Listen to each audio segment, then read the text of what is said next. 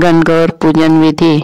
सर्वप्रथम चौकी लगाकर उस पर साथिया बनाकर पूजन किया जाता है, जिसके उपरांत पानी से भरा कलश, उस पर पान के पाँच पत्ते, उस पर नारियल रखते हैं।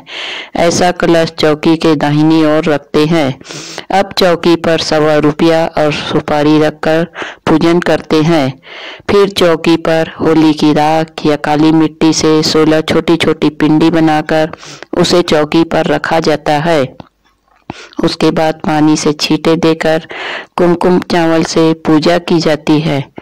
दीवार पर एक पेपर लगाकर कुंवारी कन्या आठ आठ और विवाहिता सोलह सोलह टिक्की, क्रमशः कुमकुम, हल्दी, मेहंदी, काजल की लगाती है। उसके बाद गणगौर के गीत गाए जाते हैं और पानी का कलश साथ रख हाथ में दूब लेकर जोड़े से सोलह बार गणगौर के गीत के साथ पूजन करती हैं। तदुपरांत गणगौर कहानी, गणेश जी की कहानी, उसके बाद पाटे के गीत गाकर उसे प्रणाम कर भगवान सूर्य नारायण को जल चढ़ाकर अर्घ देती हैं। ऐसी पूजन वैसे तो पूरे सोलह दिन करते हैं, परंतु शुरू के सात दिन ऐसे पूजन के बाद सातवें दिन शीतला सप्तमी के दिन सायं काल के गाजे बाजे के साथ गणगौर भगवान व दो मिट्टी के कुंडे कुम्हार के यहाँ से लाते हैं।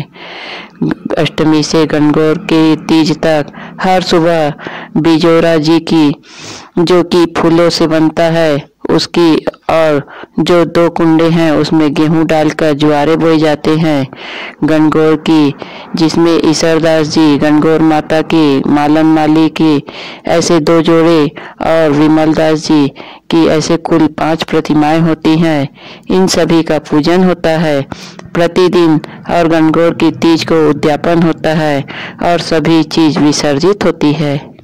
जय गणगौर माता।